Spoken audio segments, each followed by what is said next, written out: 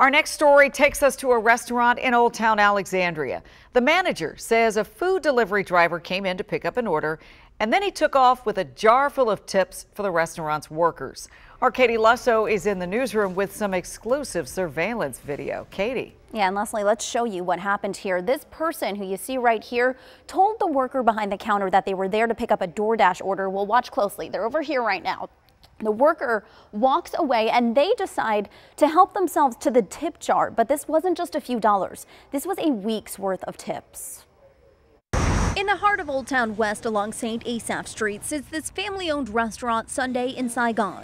But on this particular Sunday, the 13th, their cameras captured someone who hurt their heart and stole from their tip jar. I was wondering what's, what's going through your mind. What are you thinking? It's a tip. You have to know it's a tip. You have to know there's some money these guys earned. Why would you take it from him? Randy Phillips is the manager, his wife the owner. He says the person came in around 7 p.m. on the 13th and said he was there to pick up a DoorDash delivery order. He gave us the, the name and it wasn't ready. The clerk up front went to the back to see what was going on, what the order was ready or not. And I guess that's when he decided to uh, help himself to the tip jar. Their surveillance cameras show him dip his hand in once, twice, and then a third time, emptying the jar and dashing out the door. The thing is, the crew only empties that jar once a week on Sundays, so it had a full week's worth of tips. They estimate it was about 200 bucks. Tonight, asking how a person who does DoorDash deliveries would have the audacity to steal tips. Money they earned and people tipped them for their, for their service. So yeah, it's, it's uh, it was a punch in the gut to them. How would he feel if somebody took his tip at DoorDash, you know?